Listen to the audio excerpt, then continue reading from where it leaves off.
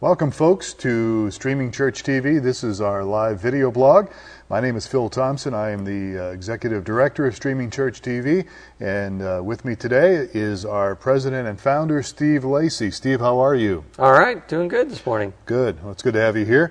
And uh, we uh, normally do this uh, in a live setting, and uh, we're actually over here at our our local church, uh, just setting up a little camera and doing some streaming. Uh, if you join us live here, you're welcome to ask us some questions just through the chat platform here. And then uh, later on, we archive this, and you can always go to streamingchurch.tv and look at some of our archives. We, we talk about a variety of different subjects. And it's pretty much most of the time it's relating to streaming, although we are both heavily involved in our local church here uh, and doing lots of different things and been around for a number of years doing uh, multiple tasks from audio video stuff to children's ministry to greeting to financial boards to the whole bit. Uh, yeah, setting up, tearing down. yeah, I've been a senior pastor for a number of years as well. Uh, so uh, today, though, we're going to talk about web pastoring and a web pastor. And I want to we we've talked a lot about a web host and we've talked a lot about you know those different functions. But I want to come from a different angle today uh, because uh, uh, there's lots of different streaming companies out there. Most of them offer just video only. However, we were one of the first to offer uh, video plus chat. So you could be interactive, and you could do a lot more than just watch a video. There, you could uh, you could chat with people watching. You could, uh, and if you're on the other side of the coin as a church as a church uh, church that is streaming. You can put different links on there and, and, the platform, and so that's what we've done over the over the years here. However, today we want to talk about a web pastor, and I'm going to let Steve uh, ask me some questions because mm-hmm. I am the my technical uh, position here at Alive Church is digital missions pastor, and I'll tell you a little bit of why that title is what it is in a moment. But. So, how what let's start off with um, how would you, what is a web pastor? Well, that's a loaded question because for different people it means different things. Uh, we at, at, my local church have defined a web pastor who is somebody that actually takes some ownership and responsibility over the streaming platform and the and the, the whole streaming ministry, so to speak. Different churches have different ideas. We actually at Alive Church we have a web host. Uh, and web hosts, plural, but most of the time we have a, a, a great guy who's uh, actually out of Ohio. We're in Arizona. Uh, his name is Don Young. He's our web host, but I am the web pastor or church online pastor is another title for it. Mm-hmm. Okay, so you, you mentioned um, take ownership. What, what, what do you mean by taking ownership of? Well, we see, you have to understand, and I want to hopefully uh, encourage people to do this that are watching this video at Alive Church, we see streaming as more than just, okay, we're going to stream our services on the weekend and done deal. We actually have a bigger vision for it. And so when I say take ownership of it, uh, one of my responsibilities was, up until recently, I actually oversaw the whole audio video team, and they were under my hat, so to speak, of authority. Mm-hmm. I, I was there to help not only be for be there available for them in a pastor sense, but also help uh, implement vision, what we're trying to do with this whole ministry, audio video ministry. Uh, digital missions is what we're calling it, which I'll get into it here in a moment. But but also take you know I'm taking responsibility for our streaming, but uh, but more more than just our streaming, our archives and things that we have plans for the future. That's what I was doing. Now I'm still the church online pastor, though we've shuffled some things around here, uh, mainly because I just don't have the time to manage streaming church TV and manage alive churches problems. So, one of the things I think that I mean, just being a part of being a part of here, and and taking ownership and kind of setting this thing apart, it's it's um, it's a little bit subtle, but it's um, it's the fact that I mean, it, this is another ministry. We treat this like another campus. Like we'll we'll, we'll do uh, we'll track attendance, mm-hmm. and mm-hmm. so they'll track attendance at the, the gathering here, and they'll track attendance at what's going on online. Absolutely. Um, they'll make sure that, that you know it's it's really treated like another campus when we when we're looking at um, you know contributions. We'll say, well, what you know, what came from this campus? Well, what came from the web campus? And so it's really set apart as its own ministry. And so those that attend that that campus or that ministry, they're you know, they need to be shepherded Right. by web pastors. So, so, it, so it's really it's you know some of the churches look at it like, oh, I'm I'm broadcasting my services, and you know it's just this other thing I do. Kind of a side deal. Yeah, kind of a side deal, like, oh, I'm broadcasting this out into the foyer, you know, in my overflow room or something. Right. And it, uh, for us, uh, it's much more than, you know, just another thing we do. It's it's really treated like a separate ministry. Absolutely, and uh, and by the way, there's nothing wrong with you know putting up a camera and streaming it to your to your foyer or to your lobby or to uh, uh, different areas of your church. Uh, but what Steve is saying here is we're, we're really trying to take it to the next level here at, at my local church, and we have customers that are that are doing that with streaming church TV. Uh, but let me just explain a little bit about. People ask me, "What is digital missions? Uh, are you on the mission field and you're whatever?" Well, I, understand it's a little confusing, maybe, but our plan at Alive Church is, is, as I said at the beginning, to take this above and beyond just doing our weekend services or even a midweek service, which we don't do a midweek. Uh, we would like to actually target communities here in Arizona eventually. We're not doing it right now, but eventually target some communities, specific communities that don't have a church like a live church. And you know, I think I'm a I'm a big believer that you can have multiple churches in your community.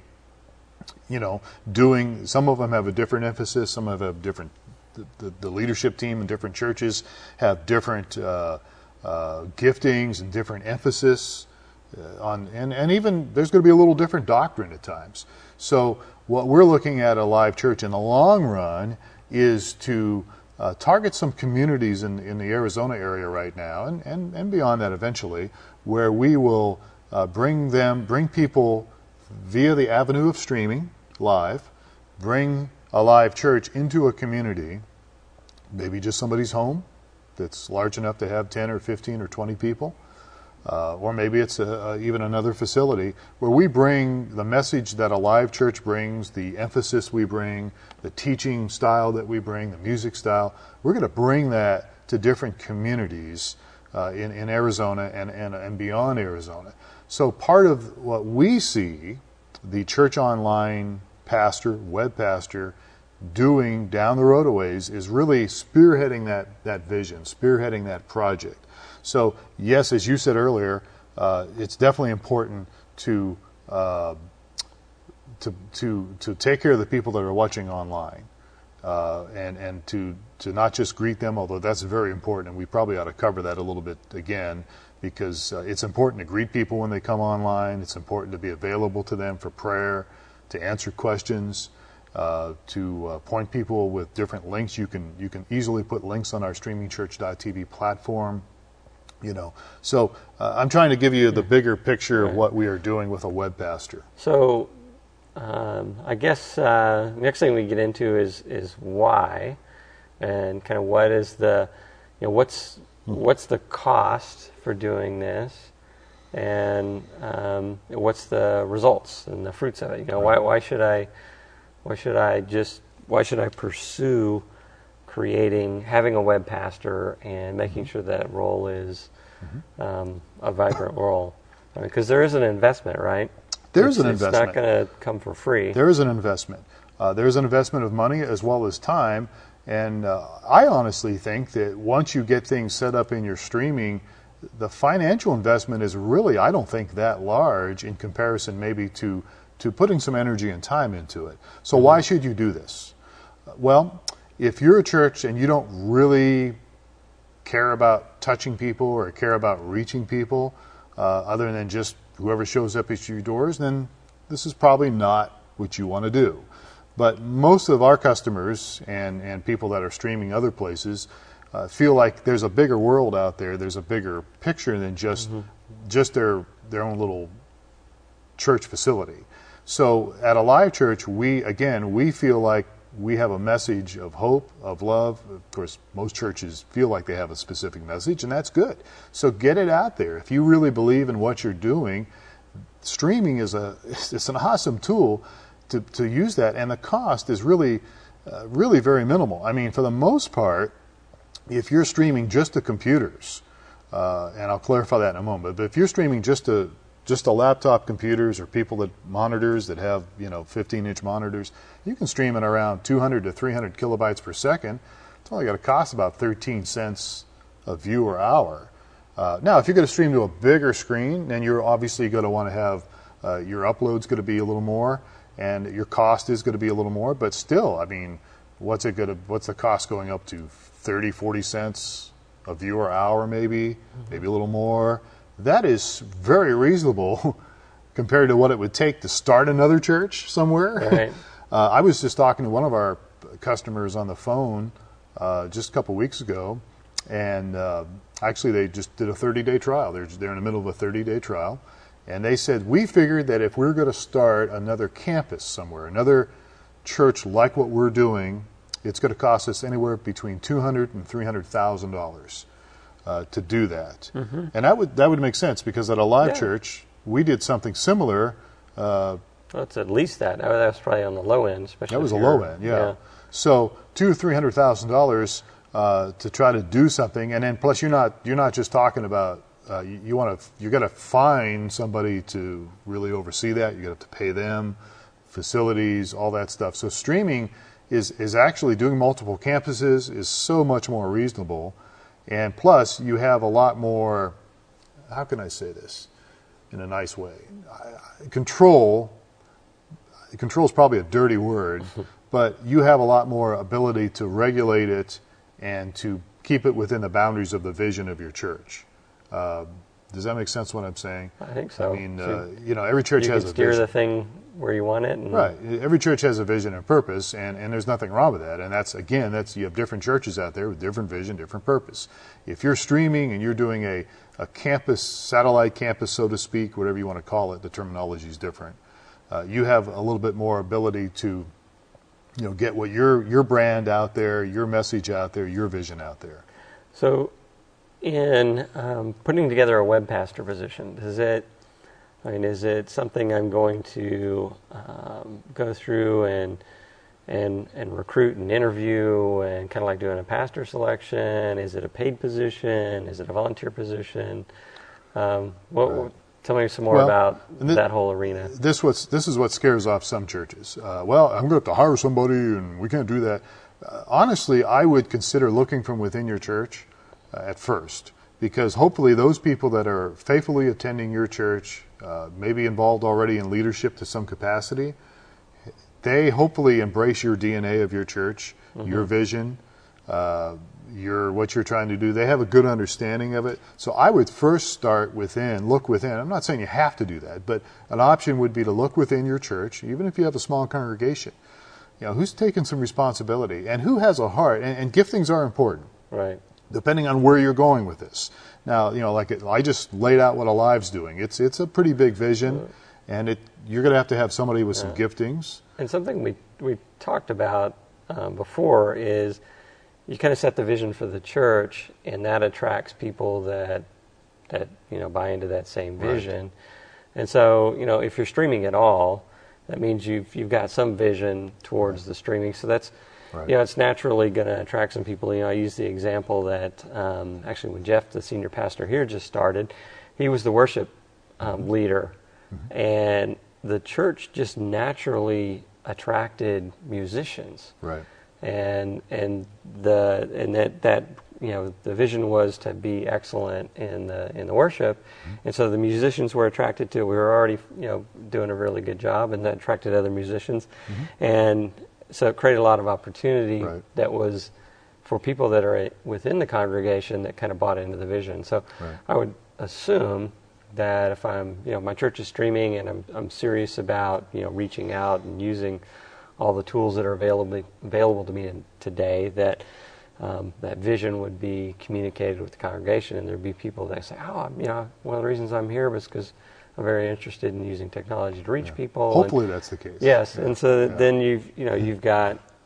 uh, you know you would have a natural pool of people you would think within your congregation that would be interested in stepping up and. Um, well, you bring up a good point, and that is communicating the vision of your church and communicating uh, specific areas of ministry in your church. So that's very important. And I think, uh, you know, unfortunately, uh, again, there are churches that stream and it's just an afterthought. But uh, I want to, one of the reasons we're doing this program is, is, is to really encourage you to, to make it more than just an afterthought. Maybe you have to take some small steps. I mean, I just laid out a huge deal. We're going to reach this area in Arizona and go out. But you don't have to start that way. You can start with, okay, you're streaming to your local area here. I mean, obviously people all over the world can see you, but you're, you're focusing on putting together a good presentation for your streaming. So in other words, uh, you know, you're going to uh, make sure your camera work is good. You're going to have people that are greeting people online uh, that are have some understanding of your church. Mm-hmm. And then again, as a web pastor, church online pastor, whatever term you want to call it, uh, it needs to be somebody that wants to take some ownership here and has some qualifications in the sense that they're spiritually mature enough to deal with some situations uh, and then also uh, be able to take care of people to some degree, or at least point them in the right direction, and then from there uh, have an idea of, of, maybe taking it to the next level, whatever that might be. Uh, one of the things we started doing at Alive a while back was uh, we actually set up a different switcher and a whole different camera in a different room in the church, and we actually do breakaways. So we're streaming our service live, people up here on doing worship on the stage here on the platform.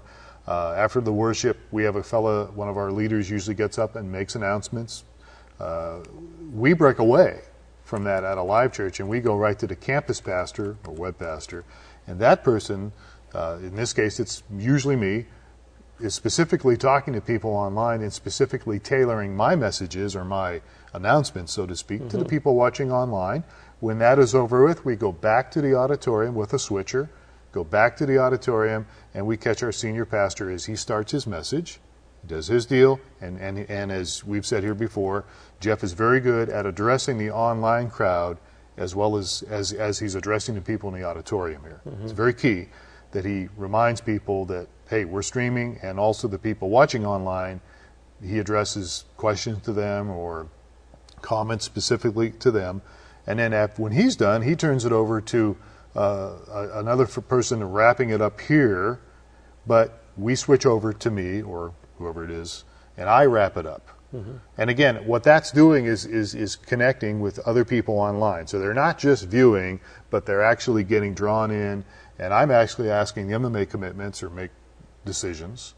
And, and again, that's one level that you can go with uh, to take your streaming at your church to a different place. You could do something like that, getting a switcher, getting an extra camera. Mm-hmm. It's not too hard to do. Yeah. So uh, if I'm the, you know, the, the, the average church out there, and um, you know, often we get the um, the comment that, gee, I don't have anybody that, that can can play in that role. Mm-hmm. What uh, what advice do you have to them? To you know, what, what would you say to those guys? I would say if I was a senior pastor, and at one point I was for about eight years at a church, I would continue to get the vision out there. So I would tell on the other end, I would say, senior pastor, lead teacher, whatever your leaders are, not just the pastor, but the leaders in your church, I would say, you know what, you need to communicate your desires. Hey, we're a church, we want to stream, we want to do this with our streaming platform. Uh, and I would constantly get that out there in your bulletins. Doesn't have to be a huge write up, but just something saying, hey, we are, here's what our vision is for this, maybe mm-hmm. two, two lines or three lines. And then having the senior pastor occasionally get up and, and tie it into his message.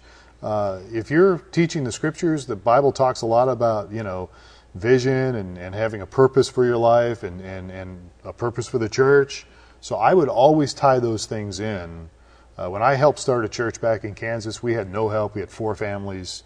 We needed help in lots of areas. That was before streaming. Mm-hmm. But we did need help in running sound and, and, and, and doing a podcast. And I literally just got it out there and I communicated it on a regular basis in a tactful way.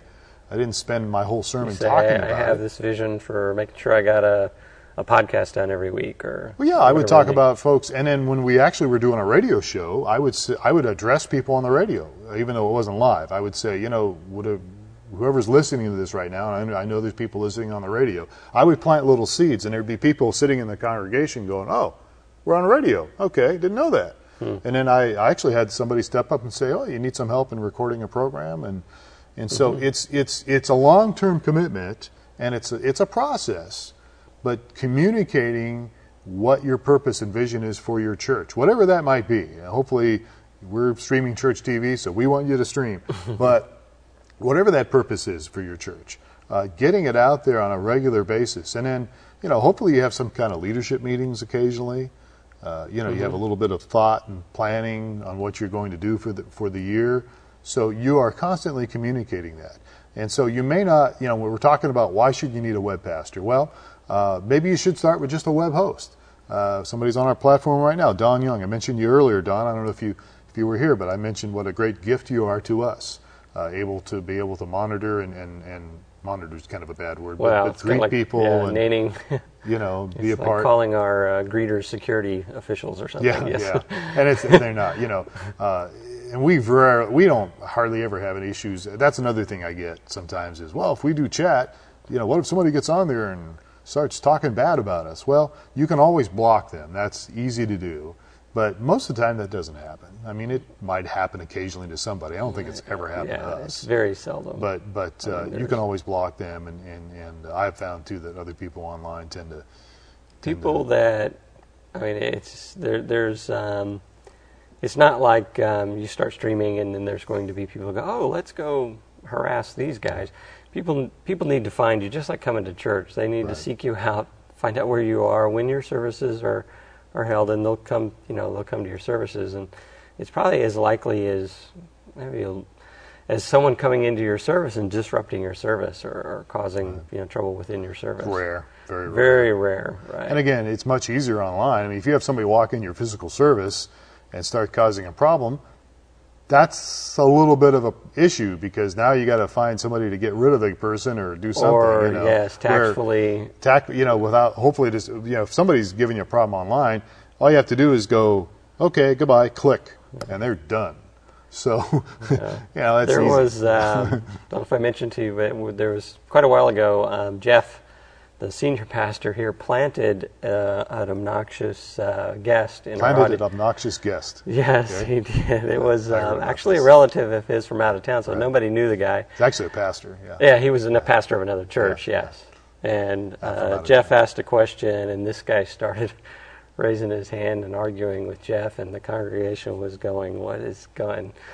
It was. Um, it almost got a little testy, but then they kind of let everybody know what was going on. Well, and we didn't let some of our key leaders know about it. they didn't. None of, So they're like, right. as key leaders sitting there, go, okay, I'm a leader in this church. What do I do? Should I Yeah. run over and you know mug this guy or whatever? Old uh, Spencer Elliott, who plays drums Yeah. here, was uh, was flaring behind the guy. He stood up and he was And, and Spencer has a black belt too, by the way. yes. Karate, he does. I would not want So to mess so with him. Jeff had to let people know what was going Yeah. on before Spencer Yeah, had his way with our uh, planted guest. I did that something like that. disrupting the service. Yeah, I did something like that one time myself in Kansas. It's, it's a lot of fun, but but it, it'll scare people in the congregation. But uh, Don, Don Young is on our platform here, and he just said that uh, we have had non-believers on watching the service. He's saying, and they have been very respectful, and that's true. I mean, for the most part, you know, Yeah, most people are pretty people- reasonable. Right. They recognize that it's it's live chat and you know most of the time you know a majority a lot of people log in through their Facebook account so Right. you've got not complete anonymity you see Sure. you know, the picture of the people and, and that Right. sort of thing. Yeah. So, uh, and, and you know, talking again about a web pastor and vision and stuff. One of the things we have at Alive is we have an online life group as well. In fact, Don is now overseeing that uh, this semester, and I've overseen it before. And and so uh, again, as you know, when we're talking about should you have a web pastor at your church, number one, you should have a web host or at least somebody who's who's there to greet people. It's very important. But uh, the web pastor thing, you know, should that person be paid or not? Uh, again, it depends on your church and depends on on uh, on you know the vision for it. And and you could have a web pastor who's possibly doing stuff during the week that's paid to do other things, you know, during the in the church during the week, and then on the weekends they they really make sure that you know uh, they're tied in with the the online broadcast. So it really depends on your vision and your budget. Right. But I think are we going to dif- differentiate between a web pastor and a web host? Uh, maybe, uh, in a sense that you know, again, the web pastor is really going to take ownership and really going to try to get it to the next level. Right. And that's, And, uh, that's, I think, one of the things that really distinguishes us. You mentioned it earlier on, but um, we really see this as a ministry platform, and it's it's much more than Right.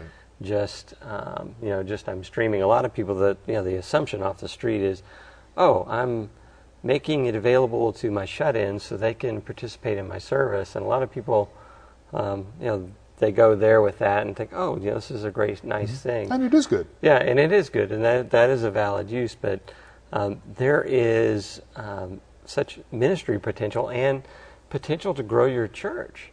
Um, we've got a large percentage of the people that um, participate here that that came online and came, came back online because they were greeted and they were prayed with, and you know their needs were met online um, before they eventually you know, came Right. to the service, and that's that's kind of the, that vision is not well, um, not broadly understood. Articulated well, ministry. yeah. So we, I mean, that's kind of been our focus is to try to get um, churches to the point where they say this is. You know, there's churches.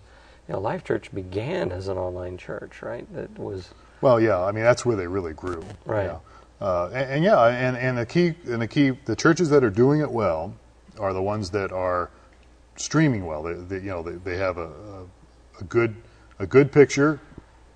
Whether they use one camera or two or three or five cameras, that you know they they're, they've they've done what whatever they've got, they're they're doing it well. So and, and you can start small, but if you're going to start small, that's great. In fact, we encourage you to start small, but just do it well. Take some responsibility. You know, make sure your audio is good. Make sure your camera work is good.